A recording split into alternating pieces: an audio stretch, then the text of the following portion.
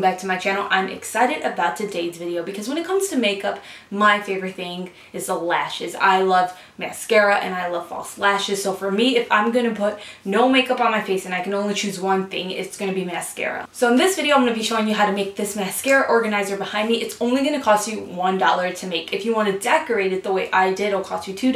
And if you want to decorate it differently, well, of course, that's going to depend on what you actually do and how much it costs you. So those of you who watch this channel, you know that I've been building this vanity behind me using only Dollar Tree products. Obviously not the bookcase or the cube organizer, I couldn't do that, but everything else that you see behind me, the stuff that's holding the palettes, the lipstick rotating organizer right there, the vanity tray, the vanity mirror, all Dollar Tree products. And I've never really had my makeup organized before doing this. I always just kept it in bins, but now that I'm organizing everything, it's so much easier to do my makeup because everything's on hand. I have my favorite palette right there, so it's right there to grab it when I'm doing my makeup. Now I have my mascara organized right here so I don't have to rummage through a bin that was over there that it used to be in. So if you're new to my channel, you love makeup and you need some makeup organizing ideas, make sure you subscribe. So I hope you guys enjoyed the video. As always, if you do, please make sure you give it a thumbs up. Let's see if we get this video to 400 likes. And please make sure you subscribe to my YouTube channel. You'll be notified every single time that I upload. Join the bargain family. We like to save our money here.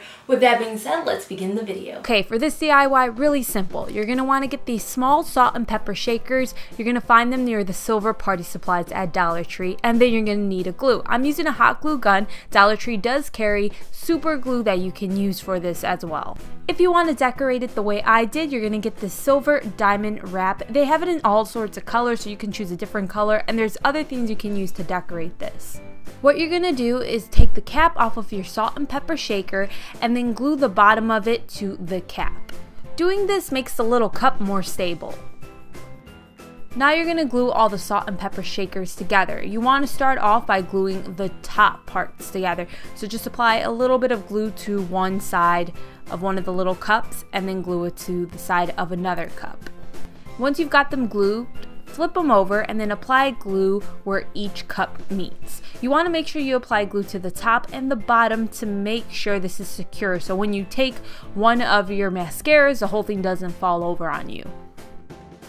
And that is legit it for this mascara holder. Now, if you want to decorate it the way I did, all you have to do is take your diamond wrap and just trim it down so it fits all around the salt and pepper shakers, and then you just glue them onto the salt and pepper shakers. I told you guys this was super easy. That's all you have to do to create your very own mascara display holder.